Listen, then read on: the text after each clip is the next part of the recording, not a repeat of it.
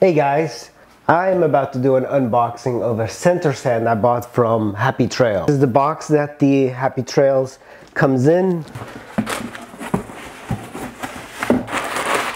Let's look at the uh, center stand from Happy Trails. It looks pretty good. Nice springs, you know, everything is as it should be. So here I am guys, I have my center stand bolts here and everything. And this center stand will fit like this on the DL650 so it'll go in like this on these two bolts. So it should fit fairly easy. So these are the uh, two bolts you'll be using. First thing you have to do is install the top bolt and this is the top bolt that comes with the Happy Trail center stand. Then you have this star-shaped washer and that goes in first according to the manual. So what I've been doing, I just put this bolt and this bolt on here to see how it fits like that and then on, on this you have a spacer. So this is where this smaller diameter bolt is going to go. The top, you'll put this on this side and that's going to hold it together and it'll go like this. So it'll go like this, if you can tell.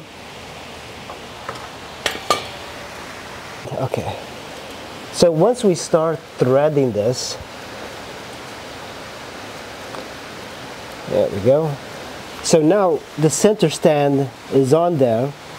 So this really works out because um, you don't have to hold it. If you put the top bolt on first, that's really what you want to do.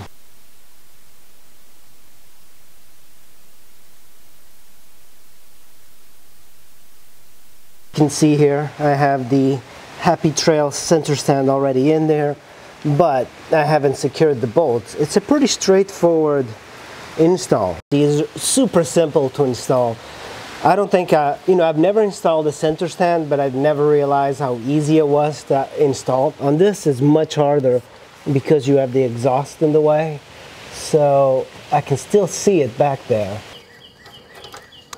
I can't really see where the, uh, the bolt lines up. This is the bottom bolt. Just make sure you use the right spacer and washer. Maybe one, two. Eh.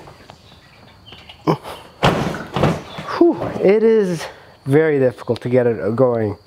When you bring back the kickstand, it hits the center stand spring. But I think, no, I mean, that's kind of a, a strange little thing. Well, there you guys go. Installation of a center stand on the DL650. 50, the Happy Trails stand, I'm to make sure that it's all tightened up. But very pleased with this mod. One of the best things you could possibly do for your motorcycle.